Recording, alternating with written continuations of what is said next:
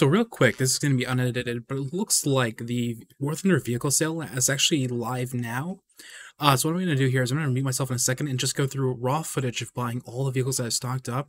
This is like 8 million Silver Lions worth of vehicles that I'm going to get at about 30% off. So this is going to be pretty interesting. Um, I might upload this to YouTube. I might not.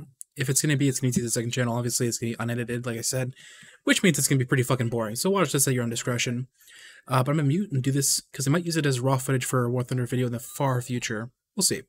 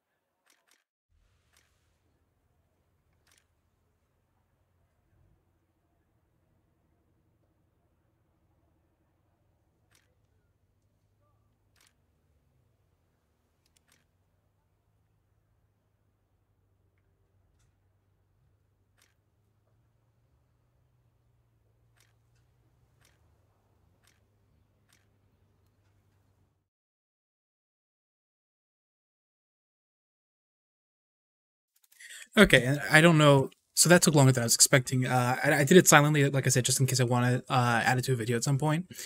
Uh, but we, I think we had like close to 6.7 million, 6.8 million before this. Uh, so we just spent over 5.5 million silver lions, which is kind of insane.